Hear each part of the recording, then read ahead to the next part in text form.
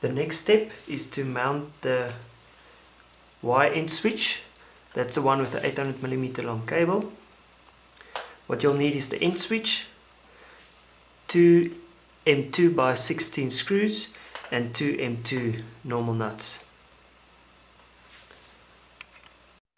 To mount it, we'll take the end switch. The end switch will be mounted here onto the big frame with the, the end of the lever to the right hand side.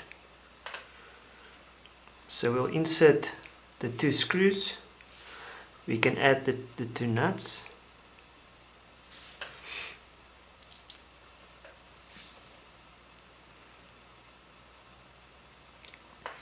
And then we'll slide it in from the back into the position provided and then we can tighten the screws.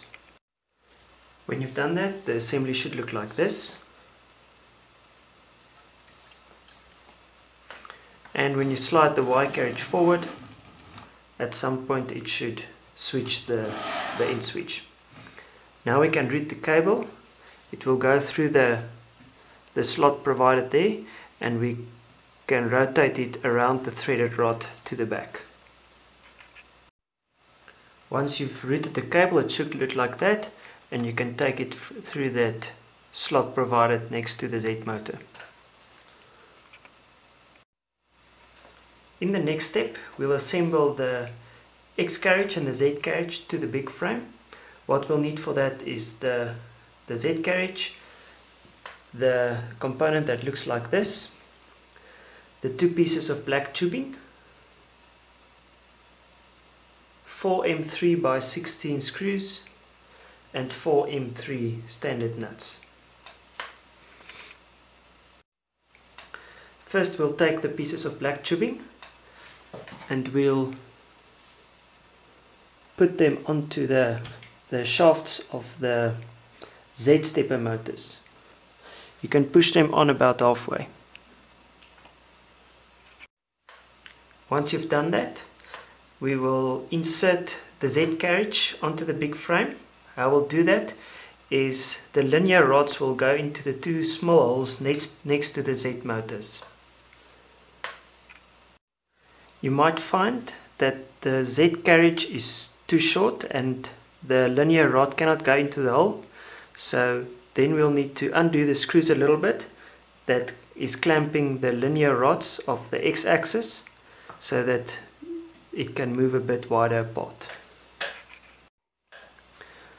Once the Z linear rods fits into the holes, you can place the threaded rods on top of the black tubing and push it into the black tubing. Once the threaded rods are pushed down completely until the threaded rod touches the, the shaft of the Z motors, then they, they are secured now we can take this component and mount it from the top. It gets fastened with the with the four uh, M3 by 16 screws.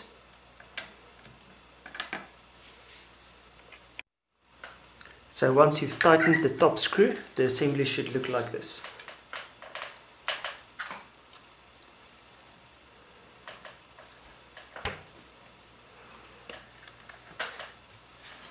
Now at this stage the Z rods has been aligned so we can tighten the screws that clamps the Z linear rods.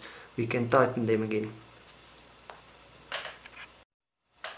Now that we have tightened the, these screws on the on the x-axis, what we can can do now is tighten the the x-axis belt. How we do that is we undo the screws that holds the motor we pull the motor to the left and while we are pulling the motor to the left we tighten these screws again.